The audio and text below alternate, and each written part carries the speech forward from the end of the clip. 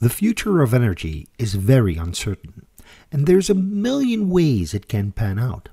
In order to get consistent results, I use two metrics the watt and watt hour metric.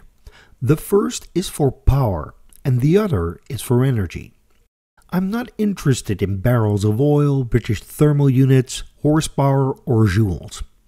I want one base metric, and that metric suits me best to convey my message. To get an idea of the scope of our problem, I simplify as much as possible. I start with the primary energy consumption of the world. I want to know how much energy per capita is used.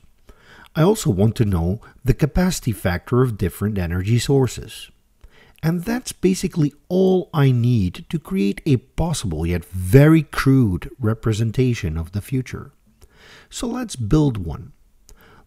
The world is home to 7.6 billion people. OECD hosts about 1.3 billion people.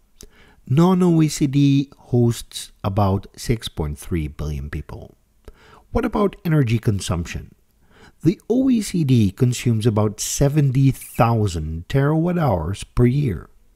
Non OECD consumes about 100,000 terawatt hours per year which is a total of 170,000 terawatt hours per year for the world population.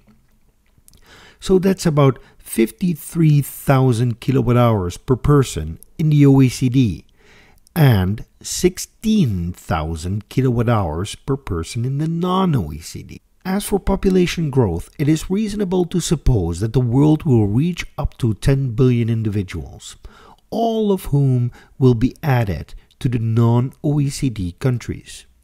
If we maintain a consumption rate of 16,000 kilowatt hours per person, that would mean that we would add roughly 41,000 terawatt hours, coming up to 210,000 terawatt hours per year.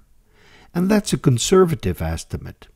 Here's the thing we want everyone to be healthy and live in happiness and prosperity. People want more energy. That is what it all boils down to. Suppose the people from the non OECD end up doubling their energy consumption. We would add another 140,000 terawatt hours to a stack of 170 terawatt hours. The thing to note here is that roughly one third of all the primary energy we put into a system ends up being used effectively. So that's your end use argument many people harp about. One of these is Michael Liebreich, for instance. He is basically the head of Bloomberg New Energy Finance. He says primary energy is not a smart metric to use, end use is a smart metric to use. I agree and I disagree with this assertion. First of all, you don't really know how efficient our future energy economy will be. It is very unsafe to assume that we can electrify everything. But let's assume we can. We now have a primary energy target of 310,000 terawatt hours per year in the old situation, accounting for a doubling in non OECD overall prosperity. Suppose we can cut in at 66% efficiency rather than 30%. That would mean that instead of having to consume 310,000 terawatt hours per year, we would need 145,000 terawatt hours per year. What would it take to create that amount of end use energy? At a 90% capacity factor, 19,000 1 gigawatt reactors. At 35% capacity factor, 47,000 gigawatts of wind.